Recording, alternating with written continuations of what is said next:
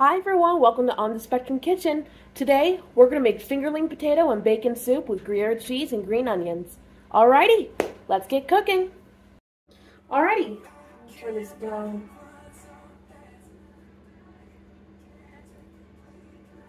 Okay, that's better. Alright, so, first things first, we are going to start on the bacon. So, grab the largest Dutch oven pot or soup pot that you got. And, and make sure you have eight strips of bacon that were chopped. Do these over medium heat first off. Should turned on the heat first. So you guys are actually in for a treat. I'm going to tell you this while it heats up a minute. You're in for a treat because once a month I plan on doing like a special, like a meatless Monday or a Taco Tuesday, that sort of thing. I did that once a Meatless Monday, and it's been a while, and I do apologize for that. But what you'll be happy to know is that one Saturday a month, I'll be doing what I call today Soup Saturday. And I can't think, think of another recipe to use than my fingerling potato. All right. Uh, when you think it's been a good minute or two, take, well, I am paranoid, so I'm going to grab a different spoon.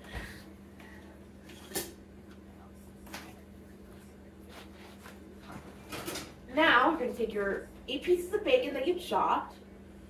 Or if you don't have sizzle, maybe the pan's not hot enough, eh, that's okay. Just improvise.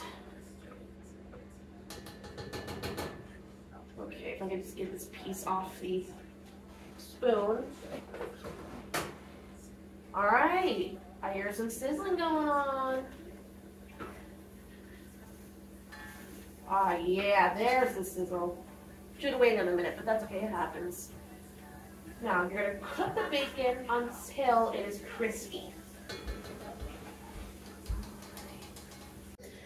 Alright, so the bacon is to my liking. So what you're going to do is take a slotted spoon or a spider, which is practically this. Kind of looks like a spider web. It's probably why we call it a spider. You're going to take the bacon and put it, make sure the grease drains out as best as you can, and put it in a separate bowl. Make sure you have paper towels. I'm going to improvise with a cloth. Don't worry. Right, I'll make sure this gets washed. Make sure I put them all there. Drop one of my towels. But make sure you keep the heat on. And don't drain the grease because we're going to be using gas. don't worry, bacon grease is edible. Not sure why the others aren't, but eh, who am I to judge? So, hold now. If you get any pieces, crumbs left over, that's fine. Set these from the side. Set these aside. I'm a mess here. And, uh, Here we go. Now, I forgot to grab this, so make sure you grab a one-fourth cup of butter.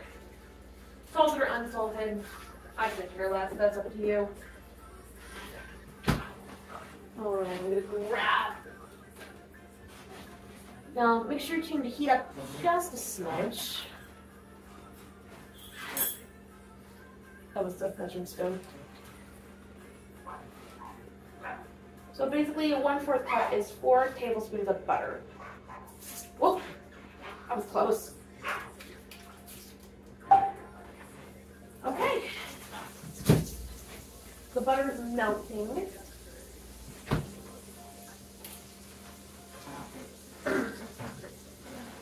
you do not have to use the same we used for the bacon. Use a different one.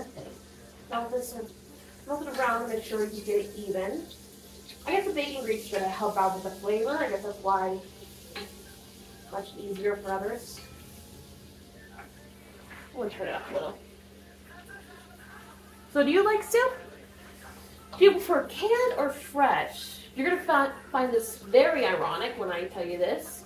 Me personally, I kind of prefer the canned stuff. It's mostly chicken soup that I like, But I'm going to try to be more open, set an example for you all, and show that I can be adaptable. All right.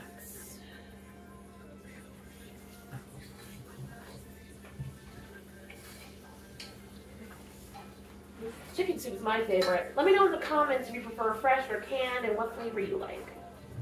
I'll be trying the soup for the first time too, so two for the price of one.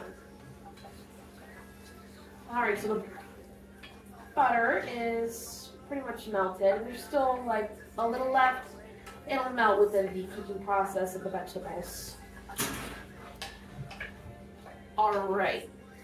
Next up, you're to take two cloves of minced garlic along with we're to add with the garlic, it's called a mirepoix, which means celery, onions, and carrots, or bell peppers if you have no access to carrots. Um, I'm be calling this my three, two, my one, two, three mirepoix, make it easier to remember for me. So it's one medium yellow onion, two ribs of celery that were diced, and three carrots Alright, full disclosure, I use baby carrots because I forgot to grab carrots at the store, but that's okay. And two little pieces of garlic. My knife skills aren't great, but I'm still learning. I'm pretty sure all the chefs in the world are learning. Now you're to cook these in the butter and bacon for about three to four minutes. My is pretty weird, so I'm to use do four minutes.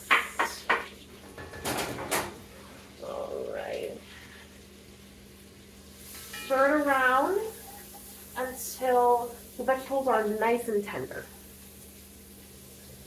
I'm going to do four minutes to start, but if I feel like they're nice enough, I'll stop it there. Let me show you.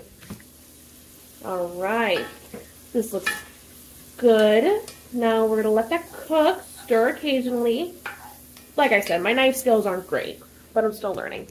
All right. Now, like I said, this will take three to four minutes until nice and tender. Okay, so the three to four minutes are up.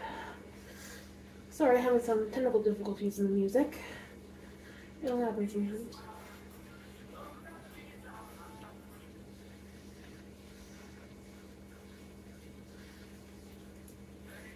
That's better. Now, it's been a minute or been a few minutes. Vegetables should look something like this.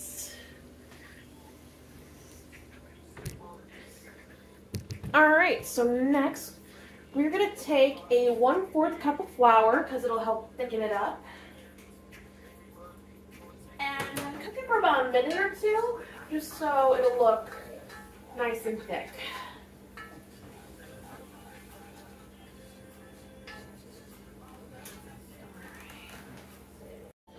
All right, so you should make it to look like this. It may look like it's clumped up, but don't worry about it.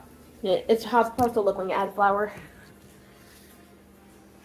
Next, I'm finally gonna add the star of the dish, the fingerling potatoes. You're gonna take a pound, quartered or cut in half.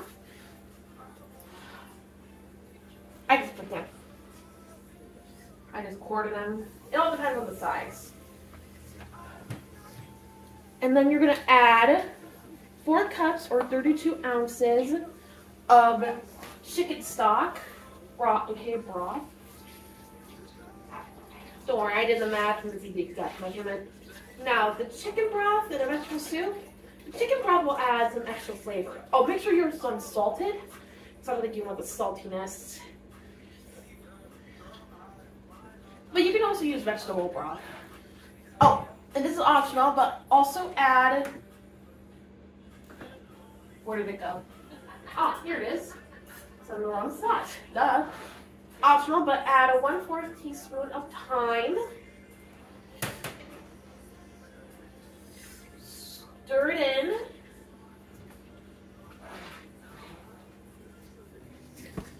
Ah, look at all this. Now, bring it to a boil, and then we can continue the cooking. Brought to a boil. Took a while, but brought to a boil. Next, we are going to drizzle in two cups of whole milk. Now we're going to slowly, and I mean slowly, drizzle it in.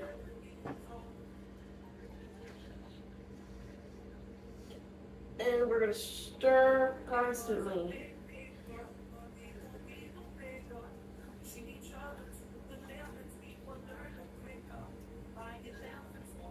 Oops. It's going a little fast, but that's okay. It'll happen. What the milk does, it'll add smoothness and brighten up the color a little.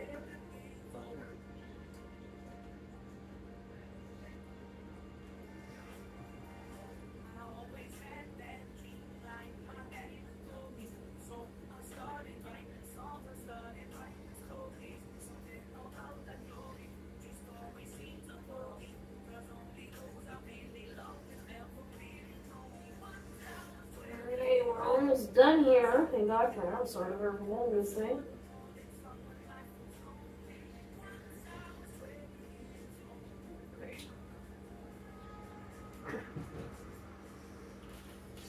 Alright, and let me show you what it looked like.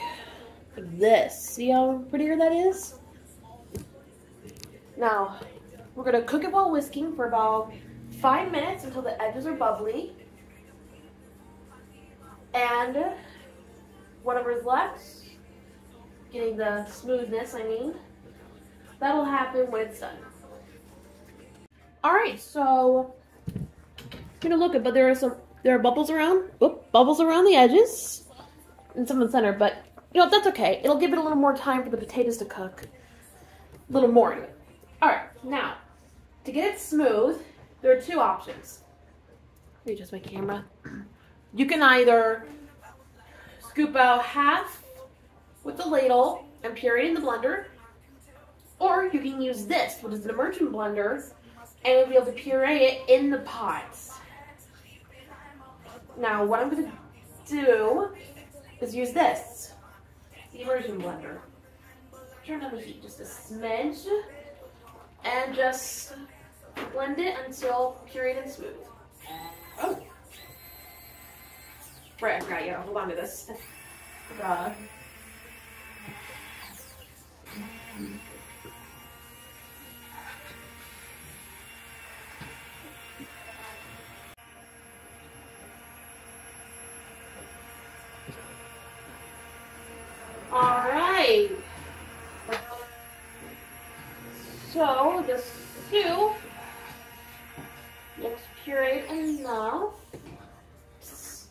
Stir it around once or twice to make sure you didn't miss any potatoes or anything, because last thing anyone needs is to chew a hunk of potato, especially if it's cooked or not. Every once in a while, there'll be a little issue. Now I'm to lower the heat real quick, and I want to show you. Mm, looks good. It smells good. Next, we are going to, few ingredients. We're going to add one cup of heavy cream. It'll help bring more smoothness.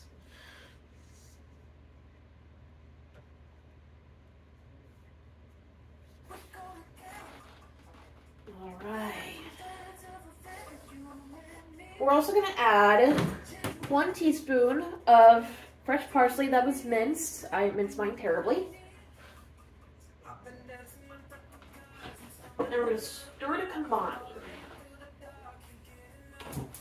Turn off the heat by accident, that's okay. Still lower the heat. And just stir, you don't stir all the way because we're adding more stuff. Just a few more ingredients I need.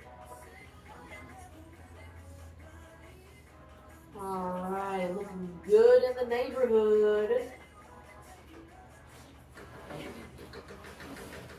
You feel like yours wasn't pure enough, just keep going with the choice of blender you use.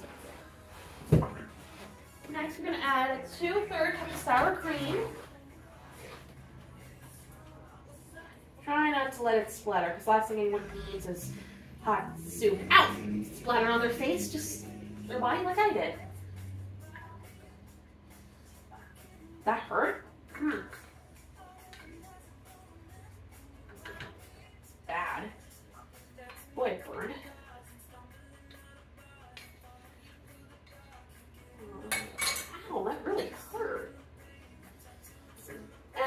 Anyway, you stir to combine. If you're having trouble melting it down, I think the immersion blender should do the trick.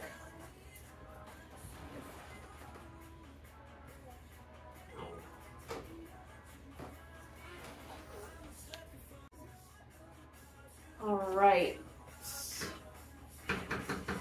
Oh, I forgot. When you add the sour cream, I'm on a roll for beginning ingredients today.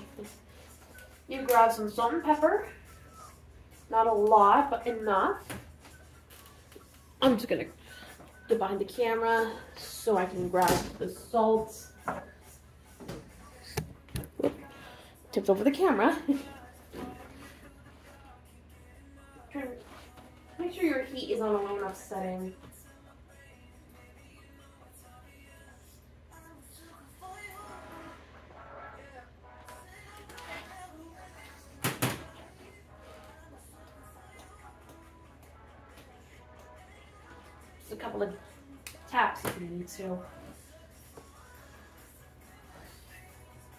Now we combine it. Do what the recipe says, not what I do. Or do as I say, not as I do, whatever the saying is.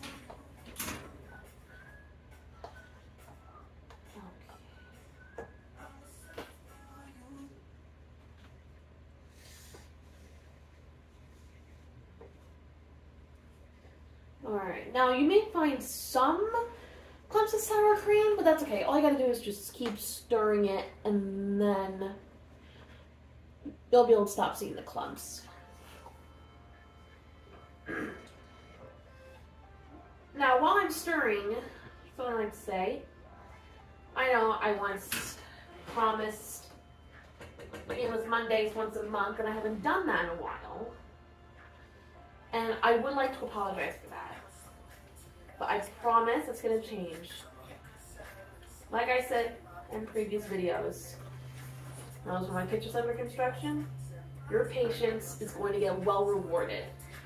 Starting now, regular specials like Meatless Monday. Actually, you know, let me tell you about the specials you find. Meatless Mondays, Taco Tuesdays, or Tostada Tuesdays, Pizza Wednesdays. I know you're thinking, why pizza on Wednesdays? Well, I did my research, and Wednesday's the most popular day of ordering pizza. Just a thought. Uh, Thursday, it'll be Pasta Thursday. I'm using the clumps of sour cream that can melt in there. Fridays is Fry Day, meaning at least one ingredient's gonna get fried. Saturday, that's different. Like today, Soup Saturday. Then there's gonna be a Salad Saturday and a Sandwich Saturday. And Sundays are just as different. We're gonna get a Sunday brunch along with a Sunday special. Get it, ice cream Sundays. So that one time that'll change is when there's an anniversary date on certain events. Alright, it's looking really nice. Actually, I trust myself. Full disclosure, I only made soup once my entire life. That was a vegetable stew for a family who was going through some trials. So. And this was long before I even considered On the Spectrum Kitchen. Like quarantine sort of thing, you know? Alright, I think. Oh, no. Now, majority of the sour cream's already melted. But there were a couple of clumps in there that I couldn't get down. Alright, this soup is so smooth and thick.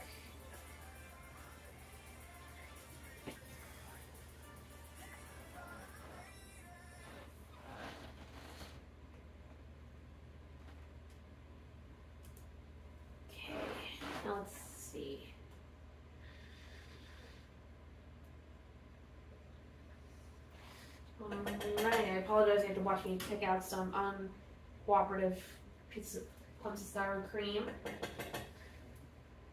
If you don't mind the sour cream taste, you can keep it. I could care less. That's up to you.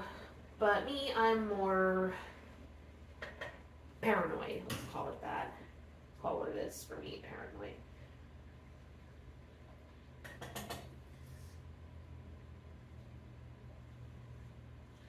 Alright, I think I got all of it. Yeah, pretty much got all of it. And now for the final touches, we're gonna add a three-fourths of the bacon. Now my math is super bad, so I'm just gonna wing it. By the way, if you find some pieces that are a little too big for your liking, you can eat it. Yeah, I'm gonna assume this is three-fourths. Save the rest of the bacon for garnish. Oh, too big of a piece.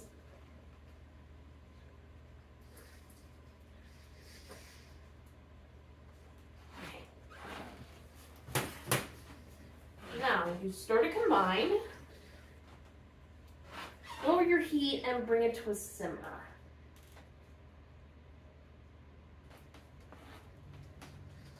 All right, now time to assemble the soup. Grab your bowl. I know what you're thinking. Assemble the soup. It's not already assembled? True, but there's also the garnishes. Now, if you notice that some skin starting to form, you'll know what that looks like in soups. Just simply give it a quick stir. Personally, I'm not a fan of the skin in myself. Alright, ladles in. Doesn't that look delicious? Now we're to garnish it with some bacon. Garnish with as much as you want. No shame in it.